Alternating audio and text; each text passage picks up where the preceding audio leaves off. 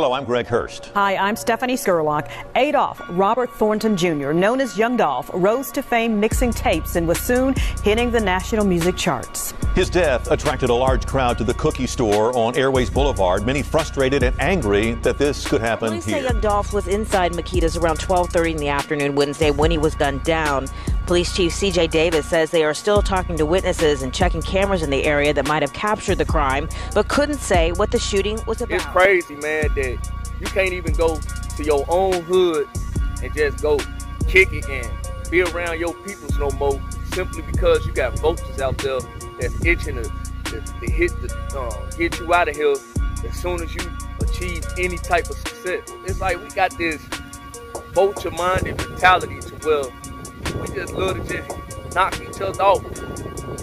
You know, famous rappers just get killed in their own hood, in their own city, simply because of eat, of envy, greed, and, and, and this retaliation mentality that if we don't put either a hope, which mainly is unlikely, but have some form of decrease in these rapid rise in murders, man, we talking about the extermination of the black man. Now, I'm pretty sure we all heard about what happened to young Dolph down in Memphis.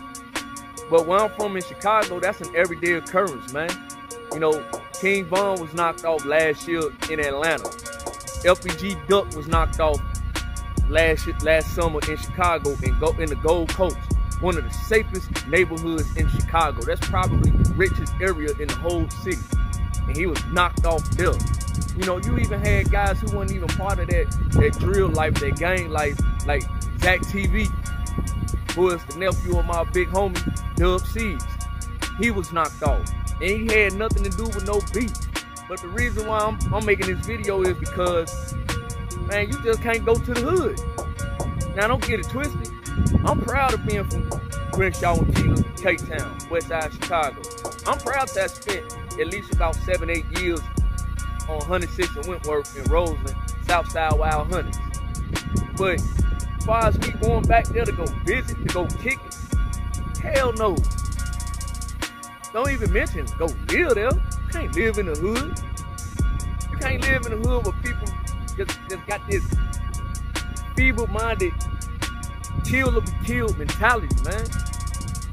Where I'm at right now, it is very safe and quiet. A little boring, but guess what? I'd rather take safe and quiet and peace rather than just chaos and dysfunction and ultimate destruction. Wherever you from, you will get hated the most. You know, most rappers die in their own city. It's a fact. And uh, you know, you have haters who who was in school with you and, and they mad because they was on they was in that in that third grade class with you, but they don't have the same hustle as you. You know, they hate you for no reason. They hate you for they hate you for your success. If you was a local rapper and you you didn't have much, they would love you. Crazy man, the place you grew up in, the place you were born and raised in, as soon as you achieve some form of success, you gotta leave it. Not only do you gotta leave it, you gotta make, you know what I'm saying, you, you can't even go back. And even those who try to do right by the hood are trying to instill some type of positive change in the hood, those guys ultimately get knocked off. But then don't be the same people saying that you sold out or you ain't a quote unquote real nigga no more simply because you ain't in the hood. When did we develop this mindset that you get on or you get some money, can't go back to where you came from?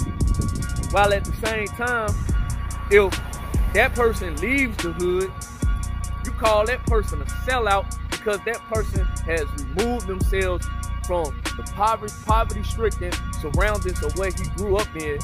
And now he's elevating his way of living to, to where he can enjoy his success by removing himself completely after that out of that same dangerous environment that most likely was hindering his success. Now, I'm not saying that we need to totally get rid of the hood mentality. That mentality is the reason why I'm probably still alive to this day. Because the hood mentality, especially when I was in the military, it served me well in very dangerous situations. While in combat, you better have a hood mentality.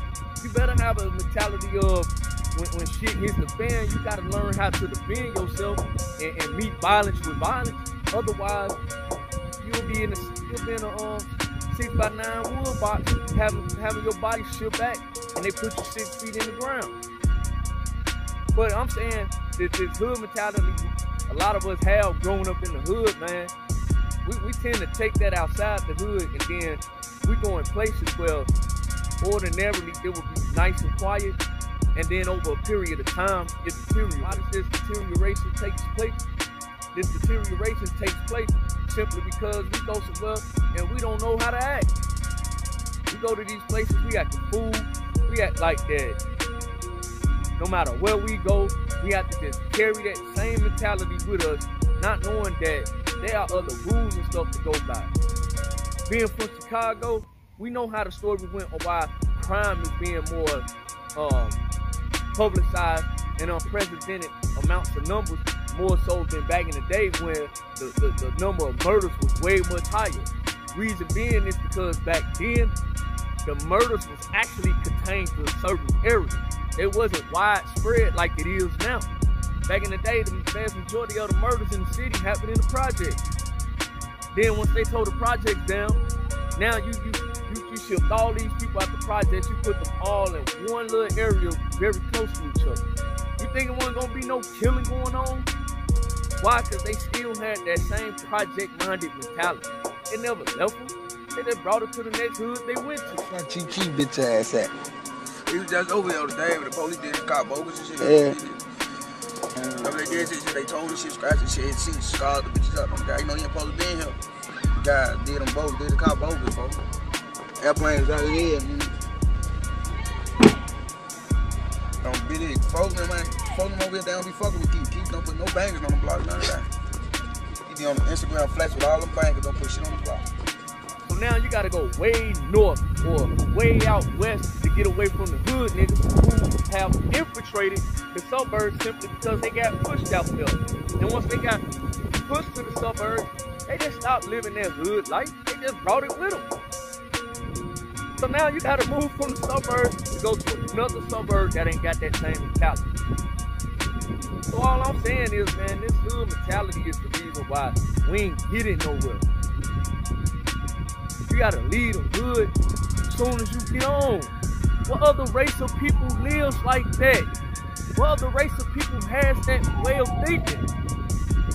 I'm pretty sure other races probably do, but I don't stay fixated on those races. Why? I'm not a part of their race.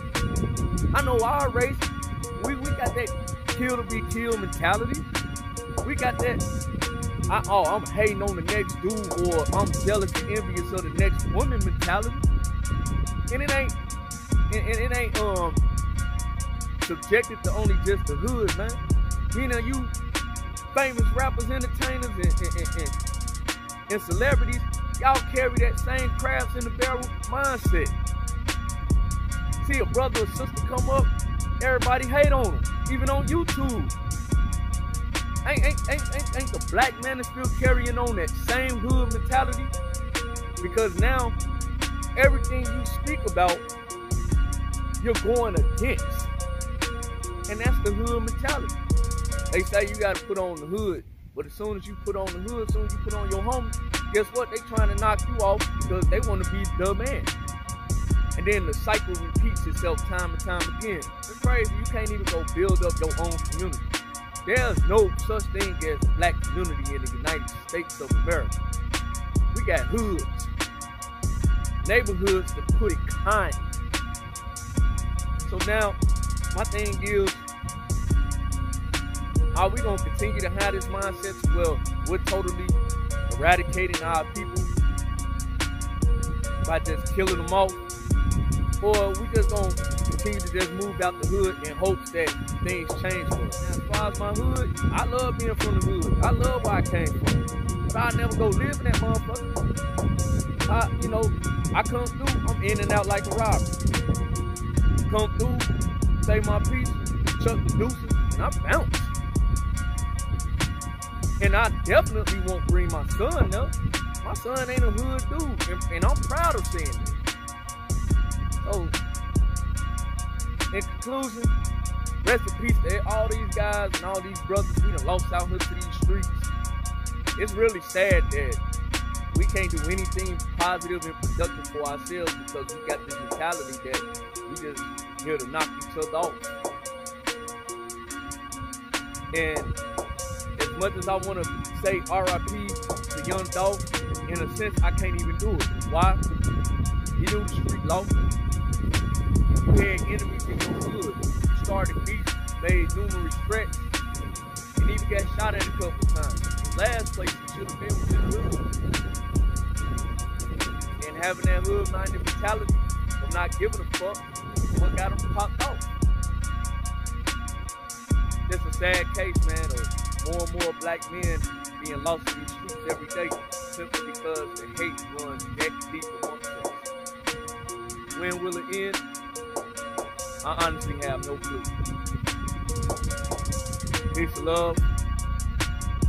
And may God bless each and every last one of you. 100. It's, it's just not a place to be, man. There's a lot going on in that state that, that that's not 100, man. That, that's not fair. You know, even from the laws, even from the sentencing, even from the education is poor.